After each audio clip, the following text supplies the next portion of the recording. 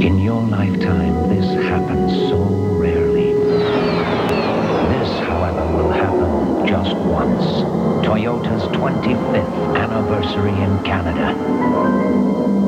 And in celebration, the limited edition Corolla, Camry, and Tercel. Distinctive, specially equipped, built in very limited numbers. And like the Eclipse,